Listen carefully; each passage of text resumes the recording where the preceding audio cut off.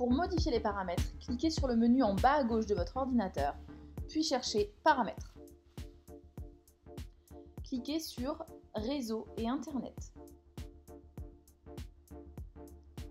Cliquez ensuite tout en bas sur Proxy.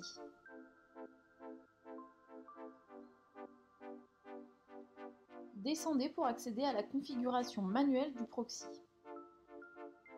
Cliquez sur le bouton pour activer, en dessous de Utiliser un serveur proxy.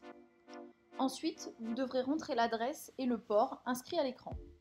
L'adresse est 192.168.0.1. Le port est 80.